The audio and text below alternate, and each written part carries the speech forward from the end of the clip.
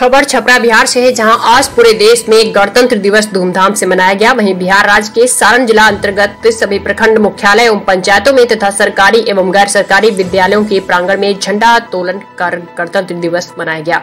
बताते चले कि आज के ही दिन संविधान दिवस भी कहा जाता है। इसी दिन नए संविधान लागू हुआ था। वहीं आज जमनौर प्रखंड मुख्यालय पर प्रखंड प्रमुख एवं थाना परिसर में थाना अध्यक्ष सुजीत कुमार, बीआरसी में प्रखंड शिक्षा पदाधिकारी, स्वास्थ्य विभाग के अधिकारी एवं जबकि private school painters techno school के प्रांगण में उनके संस्थापक शिवानंद उपाध्याय द्वारा झंडा तोलन किया गया, जबकि सूरज सामरिया आईटीआई के प्रांगण में उनके संस्था के डायरेक्टर शशि शेखर द्वारा किया गया, जिसमें मुख्य रूप से प्रखंड के सभी पदाधिकारी एवं थानाध्यक्ष मौजूद रहे। रंगारंग कार्यक्रम भी कई विद्यालयों में किया गया, जो कि आकर्षण का केंद्र बना रहा। रंग बिरंगी झांकियाँ भी निकाली गई। वहीं गणतंत्र दिवस के अवसर पर सूरज सामरिया आईटीआई के डायरेक्टर शशि शेखर ने सभी पदाधिकारियों को साधुवाद दिया।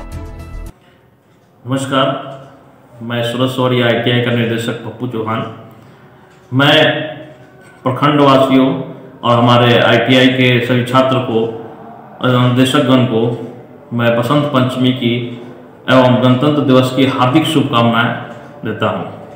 आज आपके संस्था में कौन कौन विभाग से पदाधिकारी गण आए हुए थे और उन्हें क्या कहेंगे आज हमारे यहाँ संस्थान में झंडा तोलन के दौरान हमारे प्रखंड के प्रखंड विकास पदाधिकारी, शिक्षक पदाधिकारी और ब्लॉक के हमारे सीओ साहब, अंचल अधिकारी सब लोग मौजूद थे।